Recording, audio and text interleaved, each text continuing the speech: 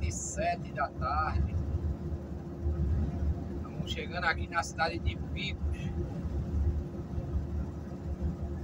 Acho que aqui é centro-sul. Centro-sul do estado do Piauí.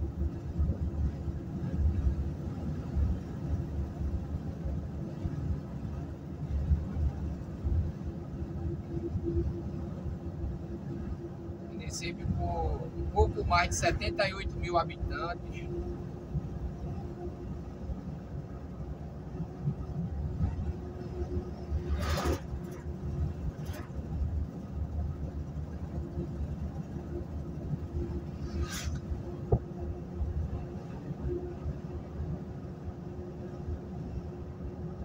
Logo aí, aqui na entrada da cidade, aqui a gente está sentindo Marcolândia. Né? Pernambuco. Eu tô indo pra Pernambuco vazio. Saí lá de Teresina hoje. Era meio-dia, mais ou menos, meio-dia. Estamos indo pra Pernambuco vazio.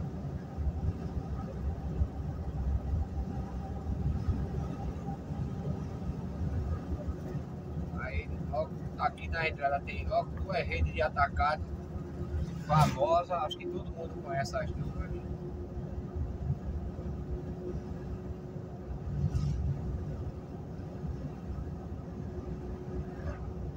E a cidade, a, gente, a BR, a 316 aqui, ela corta o, a cidade por fora.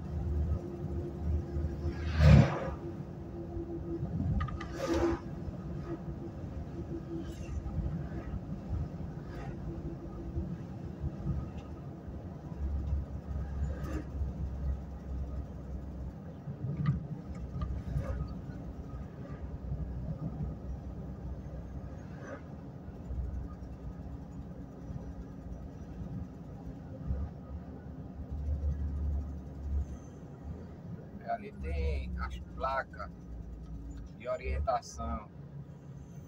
Paulistana, 145 quilômetros. Marcolândia, 102. Divisa Piauí com Ceará, 108.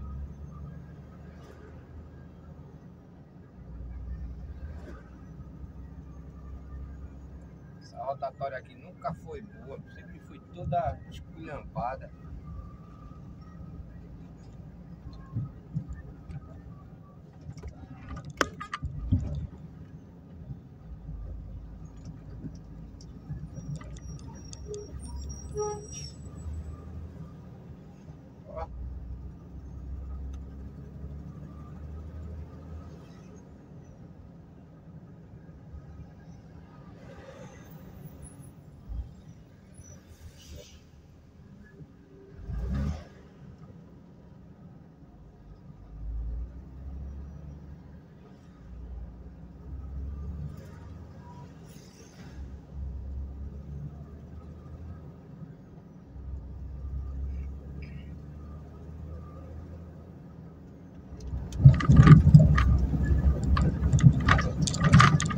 Já precisei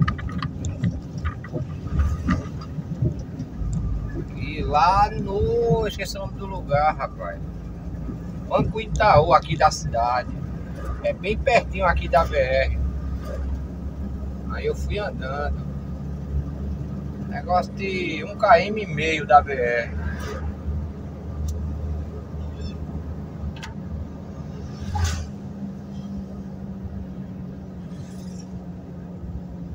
Comum ver assim motoqueiro sem capacete, que vocês estão vendo aí.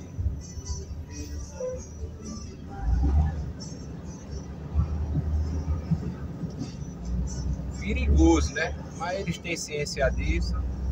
Nem é quando tá com criança essas coisas. Que o camarada vai cair, ele bota a mão no chão, ele rola para não se arranhar muito. Ele tenta se esquivar né, do prejuízo. A criança não tem essa malícia.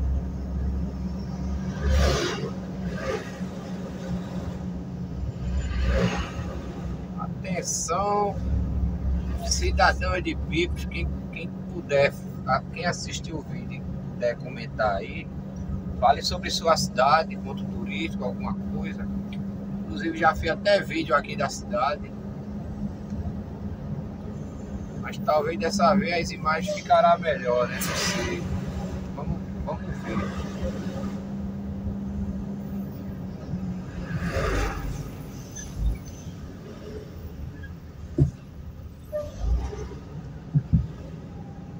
Principal atividade econômica e tudo mais. Mas aqui a principal atividade econômica é a pecuária, né? criação de gado.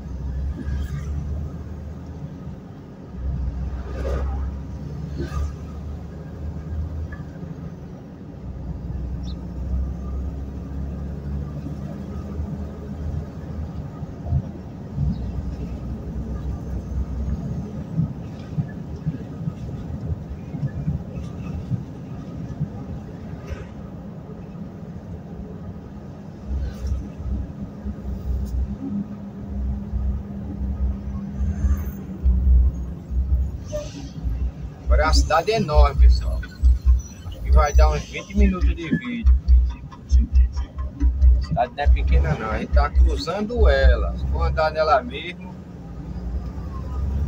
pode alugar uma posada aí, cinco dias.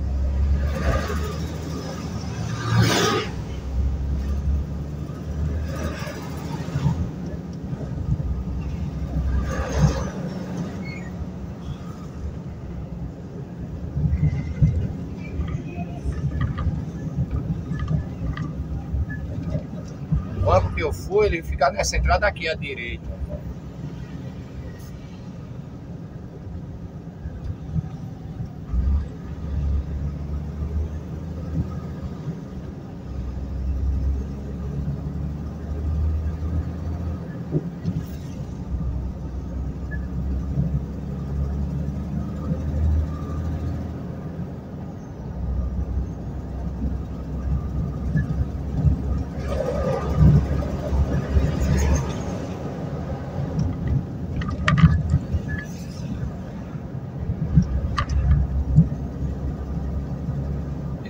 Canteiro vai até a saída de lá.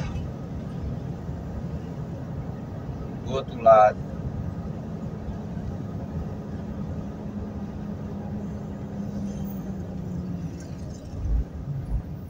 Eu conversando uma vez com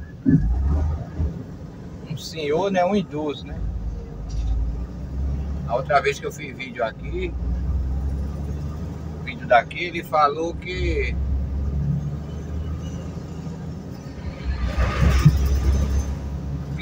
era para ser a capital do Piauí. Mas por causa de, de interesses, eu não sei se foi interesses políticos, não lembro o que foi que ele falou. Aí ficou sendo Teresina, mas que Picos é uma cidade muito mais antiga do que Teresina. Isso foi o que eu escutei dele, né? Eu não sei se é verdade isso não sei a história da cidade que eu moro, vou saber a daqui.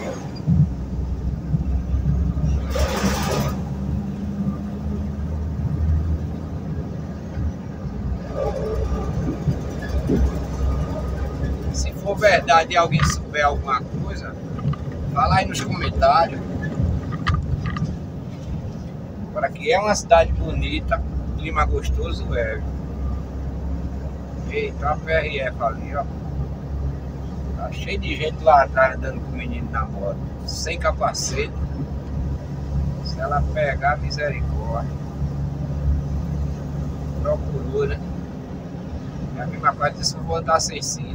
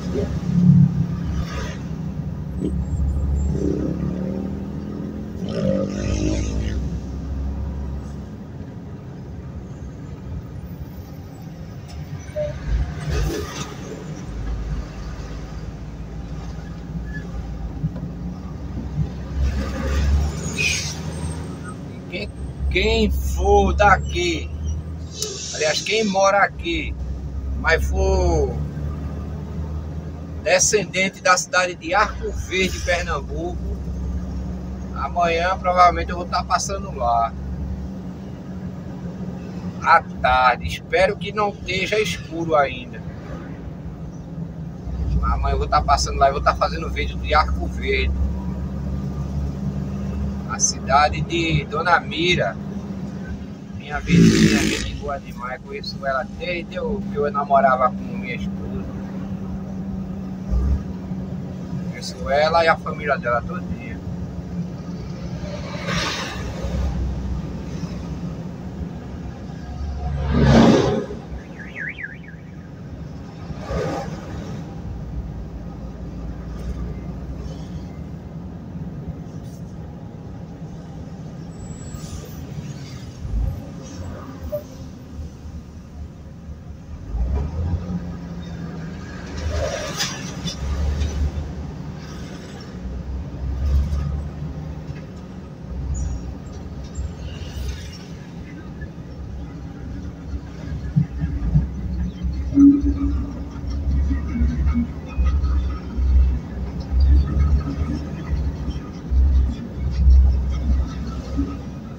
Aí, que doideira, velho. Oxi!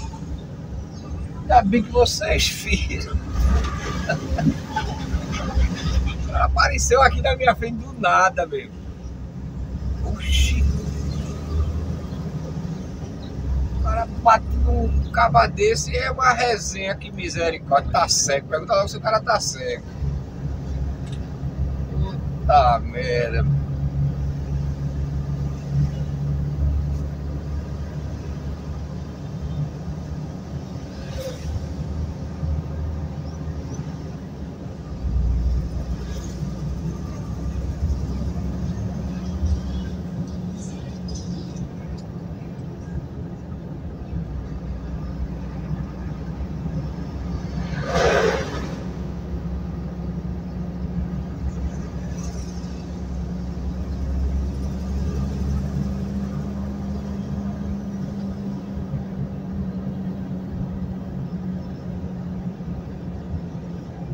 Posto aqui à direita, já, à, à esquerda eu já dormi, já dormi desse da direita aí também.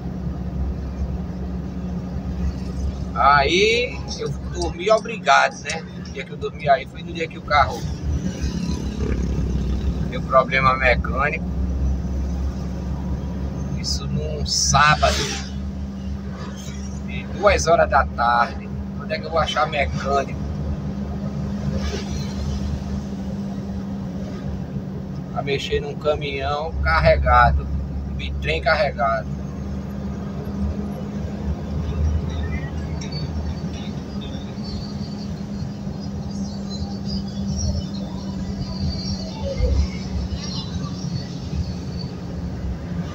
Fiquei aí sábado, domingo, segunda, vim sair na terça, era 10 horas da manhã.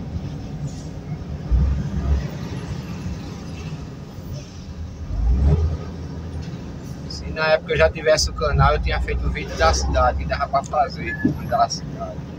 Apesar que eu sou muito boca aberta, eu digo isso, mas quando eu estou nos cantos assim preso,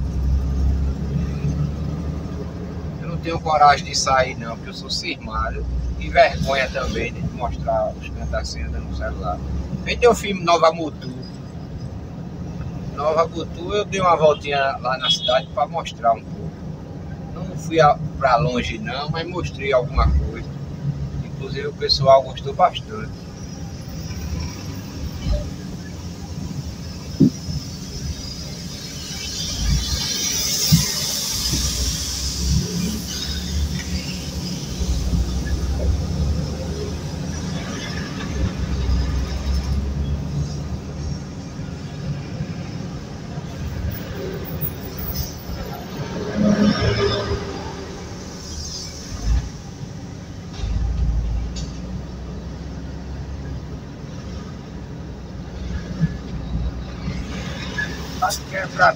Tudo danado. Passar uma cegonha aí baixa demais, ela fica. Fica feito uma gangorra aí, se não empenar o chassi dela, fica feito uma gangorra. Empenar é certeza, né? Agora, muito alta ali, tá errado.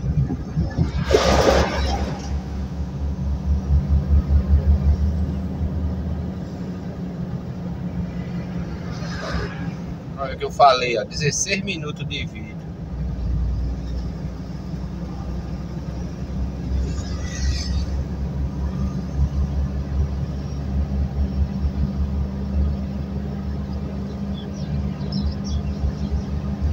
Se eu passo esse trecho aqui, que daqui a pouco escurece. Pra rodar de noite eu não sou muito fã não. Noite todo gato é pardo. Às vezes eu rodando feito ontem mesmo, tive que esticar um pouquinho ontem. Por causa de um cliente, um abençoado. Quando foi. Tá faltando uns 45 quilômetros mais ou menos. Eu chegar no cliente. Tava na parte da, duplica, da duplicação da BR já, eu já tava, na parte duplicada. Aqui na 316, chegando em Teresina. Isso era umas 10 horas da noite, 9 e meia para 10 horas da noite. Na hora que eu tava apontando de lado do do Bob na LS, não sei o que aconteceu, não sei se o cara deu um cochilo, não sei se ele tava mexendo no celular. De repente ele virou o volante pro meu lado. Eu peguei, pulei pra pista pra ele não bater pulei pra banqueta pra ele não bater em mim. E minha sorte é que tinha a banqueta, viu? Uma banqueta bem mais larga que essa aqui. Mas se não fosse isso, ele tinha batido de mim. Quebrei, freiei, buzinei, ele voltou de repente e balançou o conjunto. Ele balançou, ele freou cantando. Eu achava que vinha atrás dele, não sei como não bati atrás dele. Depois ele continuou devagarzinho e eu peguei e fui embora. Misericórdia.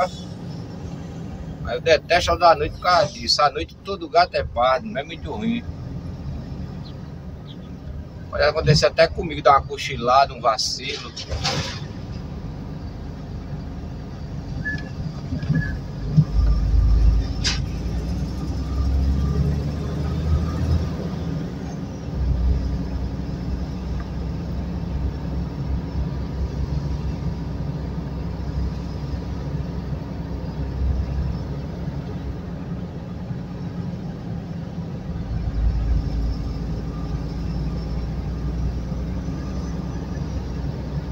Deus quiser, Deus quiser. Amanhã de tarde, no finalzinho da tarde ou de noite eu tô em casa, se Deus permitir. Vai depender do horário que eu vou ser liberado. É pessoal, terminando a saída aqui. Saída da cidade de Pico. Espero que tenham gostado do vídeo. Pessoal de Picos, não se esqueça, Comenta aí sobre sua cidade. Direto da BR-316, município de Picos, Piauí. Abraço a todos e fiquem com Deus.